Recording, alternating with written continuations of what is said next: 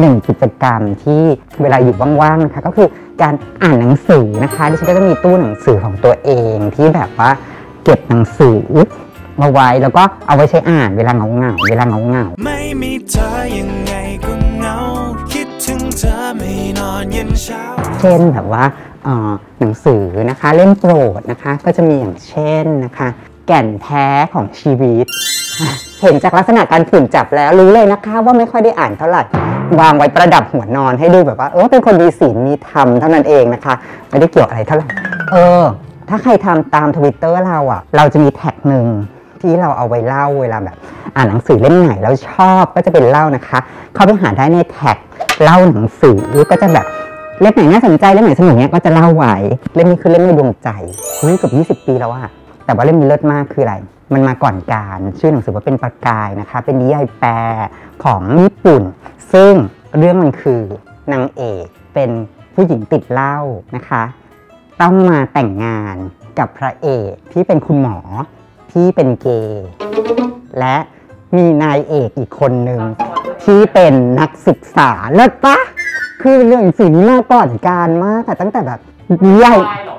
มันไม่ได้วายขนาดแบบชัดเจนขนาดนั้นในยุคนั้น แต่ว่ามันคือการแบบมีความสัมพันธ์แบบนี้ซึ่งแบบเห็นความรักเห็นความแบบความเกื้อกูลกันน่ะโดยแบบไม่ได้มีเรื่องเพศมาเป็นตัวแบบแบ่งแยกซึ่งเรารู้สึกว่าเรื่องนี้มันแบบมันมาก่อนการมากมันดีมากเธอ ไม่รู้เดี๋ยวนี้ยังหาอ่านได้หรือเปล่านะ แกและพระเอกคือแบบ หน้าตาดีด้วยอะไรเงี้ย คือแบบชวนเดี๋ยวก่อนชวนฝันมากบอกแกหน้าตาได้ขนาดนั้นเลยเหรอเราจินตนาการเลยขนาดนั้นหนูเวลาเราอ่านหนังสืออะเราก็ต้องมีภาพในหัวปะหนูเราจะแบบอ่านหนังสือแล้วหน้าพระเอกทุกคนเป็นโดเรมอนกลมๆอย่างนี้ไม่ใช่เปล่าเหมือนเวลาที่เขาทำภาพเล่นกันนะคะว่าแบบพระเอกใช่ป่ะเราก็จะจินตนาการว่าแบบหล่อดูดีโปรไฟล์ดีนิสัยดีอะไรเงี้ยพอเป็นภาพนางเอก ก็พิมพ์ก๊อปปี้ว่ากูลงไปที่หน้านะคะ ก็คือเป็นเราเองเนี่ย อันนี้ดีแนววายที่มาก่อนการมาก อันนี้เลิศ อันนี้อีกเล่มหนึ่งอันนี้จะบอกว่าน่าจะเหมาะกับโลกยุคนี้มาก อันนี้ก็เป็นหนังสือเก่าแล้วเหมือนกันน่าจะสักห้าหกเจ็ดปี ชื่อเรื่องนิทานกล่อมประสาทและความน่ารักก็คือรูปรูปประกอบนะมันมีรูปประกอบอื่นๆในซึ่งรูปประกอบนี้นะ คนเขียนก็คือน้องยิปโซ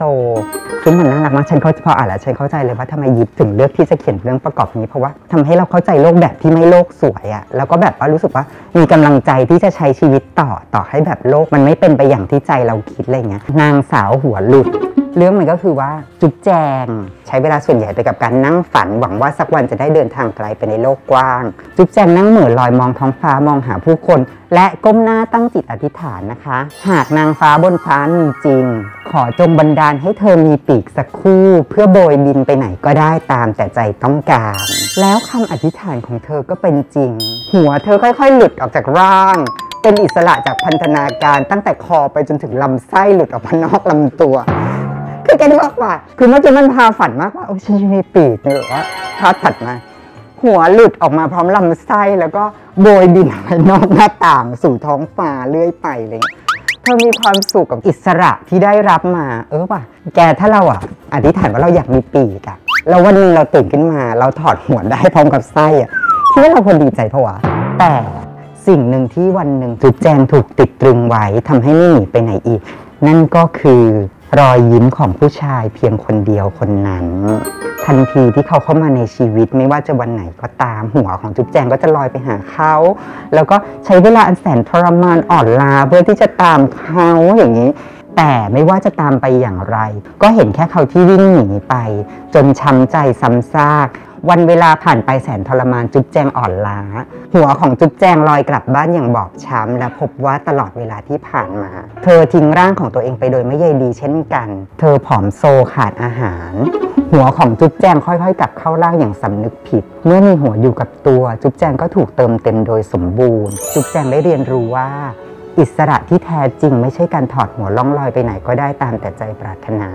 แต่อยู่ที่การควบคุมบังคับ หัว ให้อยู่กับตัวได้ตลอดเวลาต่างหากคือเรื่องนี้มันเป็นอะไรแบบเนี้ยเธอที่แบบมันดูหักมุมมากคือเนี่ยฉันว่าเรื่องนี้มันเพี้ยนเพียนๆดี แต่มันเลิศเป็นนิทานหรอแล้วหรอ เราลองนึกเราลองนึกภาพว่าลูกเราสองขวบแล้วก็จุ๊บแจงถอดหัวออกพร้อมไส้เราต้องคิดว่าลูกเราอะ จะเติบโตมายังไง ถ้าเราแบบเล่าให้ลูก ลูกฟังอะ ฉันว่ามันต้องแบบโตนิดนึงนะแก ก็ประมาณนี้จริงๆมีอีกเยอะมากอยากเล่า อย่างที่บอกไปตามใน Twitter หรือแฟนเพจฉันก็ได้ ถ้าเกิดหรือว่าถ้าใครมีหนังสือเล่มไหนที่ดีนะ สนใจแท็กมาบอกหน่อย แล้วมาให้ฟังหน่อยจะหยิบมาอ่านบ้างนะคะ เคยบล็อก from home